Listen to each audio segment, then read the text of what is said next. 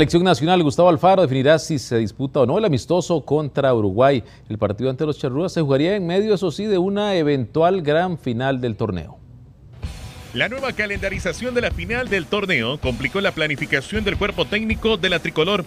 En caso de realizarse una gran final, podría programarse entre el 29 de mayo y el 2 de junio. La selección tenía casi listo un fogueo ante Uruguay el 31 de mayo, que ahora dependerá del cuerpo técnico si se avala el compromiso. Se puso un poco, un, poco lenta la decisión por lo que está pasando con la UNAFUT, porque si hay una, una gran final, pues caería en el medio. Entonces es un tema que pasa por lo deportivo, si el partido se va a realizar o no.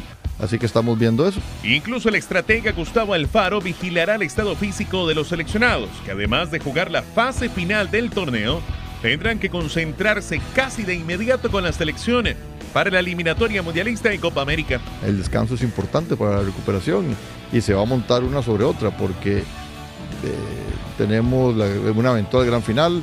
A los dos días eh, concentración nuevamente, viajamos a Granada, jugamos con, San, con San Cristóbal, viajamos a Granada, regresamos, es que el 10 estamos en el país y dos días de vacaciones y otra vez arranca el, el proceso del tema de la Copa América. Lo que sí está descartado es un segundo fogueo en Estados Unidos previo a la Copa.